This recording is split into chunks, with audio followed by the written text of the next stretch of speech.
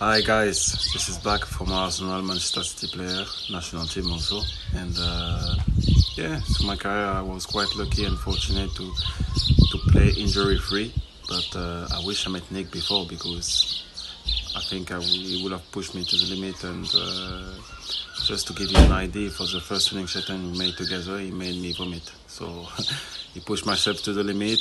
I managed to, to gain some speed. I managed to gain some power and some confidence in myself after having a, just one big injury.